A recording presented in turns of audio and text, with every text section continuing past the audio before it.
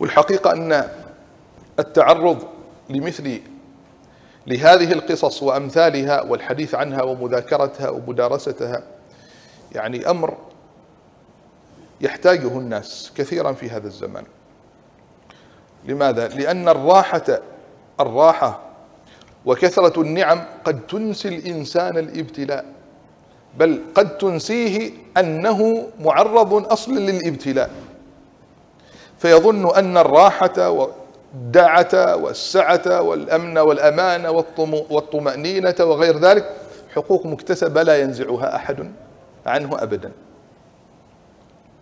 ولذلك عندما يلم أو تلم به شيء من الملمات تجده هلوع تجده هلوعا مباشرة ما يتحمل. لأي سبب؟ لأنه لم يكن متوقعا في يوم أن يصيبه الله تبارك وتعالى بشيء من الابتلاء أو بشيء من المصائب. وما أكثر هلع الناس. إن الإنسان خلق هلوعا. إذا مسه الشر جزوعا.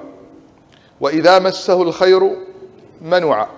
إلا إلا المصلين. الصلاة مربية. وتربي في النفس الصبر.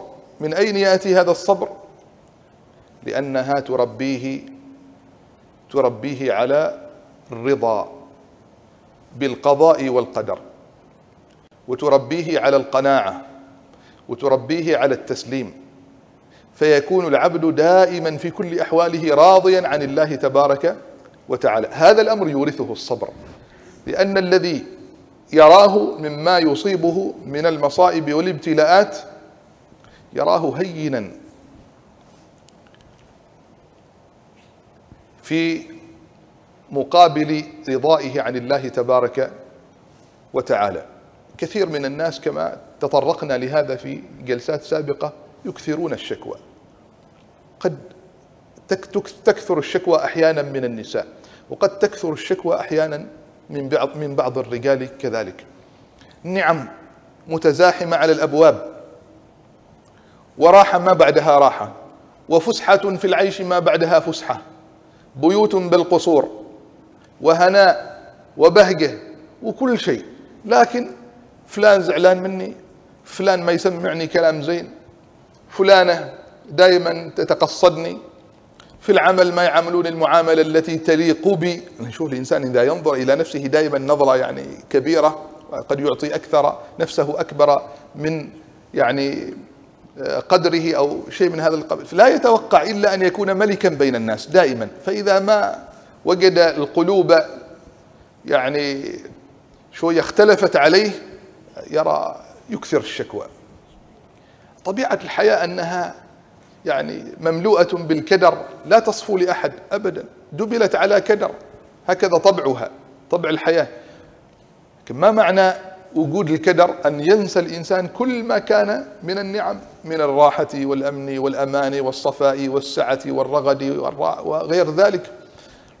فكثرة الشكوى معناها قلة الشكر لأن الإنسان الشاكر الموغل في شكر الله تبارك وتعالى يستشعر عطايا الله ونعمه وآلائه فمهما أصابه يقلل من الشكوى أو يبتعد عنها أو أنه يبث شكواه إلى الله تبارك وتعالى كما قال يعقوب عليه السلام إنما أشكو بثي وحزني إلى الله إلى الله. وهذا من أعظم المراتب وأشرفها أن يبث العبد شكواه بين يدي خالقه وسيده ومولاه. بل هذا من الأدب العظيم بل هذا من المقامات الرفيعة. لماذا؟ لأنه لا يبث لا يشكو ربه إلى العباد. وقد قلنا سابقا أن الشكوى إذ تكون عندما يكثر الإنسان عرض مشكلته على الناس دون أن ينتظر منهم شيئا ينتفع به. أما الذي يعرض مشكلة على طبيب فذلك أمر آخر. يشكو مشكلته إلى طبيب ليجد عنده العلاج أو إلى حكيم ليجد عنده حلا أو قريب لينفس عنه شيئا من كرب من الكرب التي تحيط بالنفس وتثقل كاهلها حتى يفرغ قليلا وينفس فيستعيد نشاطه أيضا للعبادة لا بأس في دائرة صغيرة لكن أن يكثر الإنسان الشكوى في كل محطة في العمل في الصا في النادي في صالة الرياضة في المقهى في المطعم إذا لقي احدا في أي مكان كيف أنت؟ قال والله استوى لنا كذا واستوى لنا كذا واستوى لنا كذا واستوى لنا كذا. ما يقف من الشكوى. والله واحيانا حتى ما حد يعني يستفتح عليه فيسأله. لا هو يستفتح بنفسه. أنت زين؟ يستفتح بنفسه. إن تستفتحوا فقد جاءكم الفتح. هو من عنده هكذا يبذلها يبذلها. زين. فيقول ما ما جيت؟ ما جيت ما شفت مستوى لنا سبحان الله صار كذا وصار كذا وصار كذا وصار كذا. فهنا الانسان ينتبه ينتبه. عدم التدقيق في مثل هذه الأمور تجعل الإنسان يغفل عن نفسه.